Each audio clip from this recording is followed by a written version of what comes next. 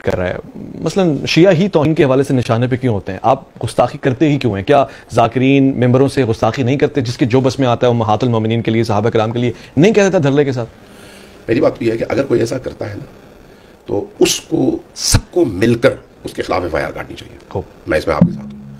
जो ऐसा करे अगर एक बंदा ऐसा करता है तो आप 25 करोड़ पर इल्ज़ाम लगाएँगे। बहुत सारे साहबा ने शराब पी। आप कहेंगे सारे साहबा नौजुबिल्ला शराबी थे। जिन्होंने शराब पी उनको सजा भी मिली। तो इसका मतलब यह है अगर किसी ने बदकारी की तो शराब के हुक्म लाने से पहले है ना यानी उसके बाद शराब के हुक्म के आने से पहले तो सजा भी नहीं थी ना। मैं सजा की बात कर रहा हूँ जिनको दुर्रे लगे हैं शराब पीने पर कब लगे? हैं शराब के हुक्म के हुरमत के हुक्म के आने के बाद। तो वो कौन थे? काफिर थे? नहीं। काफिरों पर तो कोई पाबंदी नहीं है। मुसलमान थे। तो मुसलमान कौन थे? मदीना वाले थे। मदीना वाले कौन थे? जो रसुल्लाह को देख चुके थे।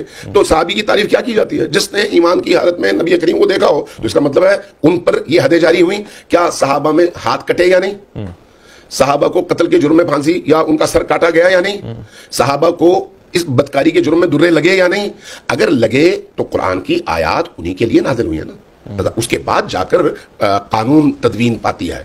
अगर ये चीज़ें कोई बंदा निकाल के किसी को दिखा दे या किसी तकरीर में बता दे, भाई, हदीस में ये लिखा हुआ है, कुरान में ये लिखा हुआ है मर्रख ने ये लिखा है, मुहद्दिस ने ये बात लिखी है और फलान किताब में लिखी है तो अब इस कानून की रोशनी में बजाय इसके कि आप कहें कि भाई, ये एक इल्मी इख्तलाफ है, आप बोलने वाले को कटहरे में खड़ा कर दें और उसके खिलाफ कम से कम दस और ज़्यादा से ज़्यादा उम्र कैद की सजा कटवाएँगे। उसका तो जुर्म नहीं है जाके फिर इमाम बुखारी को कब्र से निकालें और उनके खिलाफ फतवा दें। लेकिन इमाम बुखारी पाकिस्तान के नहीं थे ना? पाकिस्तान की सरहद पे ये कानून का इसका इतलाक अच्छा ठीक है बिल्कुल ठीक है। इमाम बुखारी की किताब तो पाकिस्तान में छप रही है ना? तो छापने वाले जो तोहीन पर मबनी किताब होगी उसको छापने वाला भी तोहीन का मुर्तकब है या नहीं? तो फिर सारे पाकिस्तान से बुखारियों को उठाएँ और जलाएँ। मुस्लिम को उठाएँ और जलाएँ।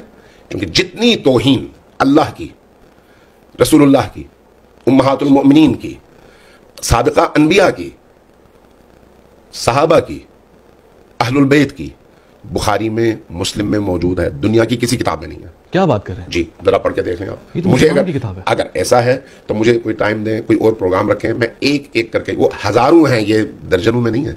यानी वो दानिस्ता तोहीन की गई आप कह रहे हैं कि अरे भाई अगर ये कहा जाए कि ये हदीस है मैं मिसाल देता हूँ। अगर ये कहा जाए ये हदीस है कि हज़रत मूसा नहा रहे थे शैतान आया उनके कपड़े लेके भाग गया। हज़रत मूसा मादरजात बरहना नौजबिल्ला उसके पीछे भागते रहे शैतान सारे शहर में घूमता रहा और लोग हज़रत मूसा को इस शक्ल में देखते रहे। तो ये हज़रत मूसा की तारीफ़ है तनकीस है तोहीन है क्या है? काबिल बर्दाश्त ही नहीं है अच्छा अगर कोई ये कहे कि बुहारी की हदीस है कि नबी करीम अपनी जोजा हज़रत उमुल मोमिनीन आयशा के साथ अब ये बातें मैं मतलब कैसे मतलब मैं सुनना ही नहीं चाह रहा मैं दिल ही मेरा बज बुझ रहा है इसको फिर फिर बुखारी को मैं इसीलिए कह रहा हूँ ना पाबंदी लगा दें। क्योंकि बुखारी में ये हदीस है ना कि आप और हज़रत आयशा चादर के नीचे थे। हज़रत अबू बकर दाखिल हुए अपनी जगह से हिले नहीं। ये ये सारी चीज़ें आप कह रहे हैं कि ये मौजूद ये तोहीन है या नहीं ये तोहीन है या नहीं रसूलुल्लाह की भी तोहीन है हज़रत मोमिनीन आयशा की भी तोहीन है कि उनके बंद हुजरे में कभी हज़रत अबू बकर दाखिल होते हैं कभी हज़रत उमर दाखिल होते हैं कभी हज़रत उस्मान दाखिल होते हैं जबकि वो नामहरम है। एक मौली साहब अपनी बीवी के लिए कभी भी इस तरह की कोई बात एक लम्हे के लिए कबूल करने को तैयार नहीं होते। कोई भी गलत है। में कैसे तैयार हो जाते हैं? कोई भी गलत तो अगर ऐसा है तो फिर उन किताबों को आग लगानी पड़ेगी ना फिर।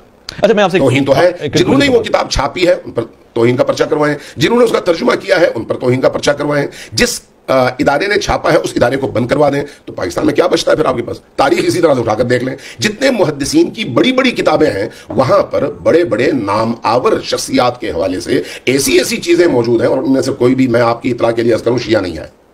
कोई शिया नहीं है कि कोई कहे ये शियों की रिवायत है। नहीं भाई इमाम इबन अबी शैबा शिया नहीं है। बुखारी शिया नहीं है तबरी शिया नहीं है कामिल शिया नहीं है इबन असीर शिया नहीं है अलबिदाया बन नहाया शिया नहीं है। ये जो सिहा है इनका कोई मुसन्निफ शिया नहीं है। अगर आपको इस तरह की सारी चीज़ें वहाँ से मिल जाएँ तो अब आप उसके बाद क्या कहेंगे ये तोहीन है या नहीं है? अगर इसको आप तोहीन कहेंगे तो फिर कुछ नहीं बचता। अगर आप उसको तोहीन नहीं कहेंगे तो फिर बोलने वाला और वो बयान करने वाला वो भी तोहीन नहीं कर रहा। ठीक है। तो इसलिए तोहीन की तारीफ़ ज़रूरी है कि तोहीन किसको कहते हैं? सारा मुद्दा ये है कि तोहीन डिफाइन हो जाए।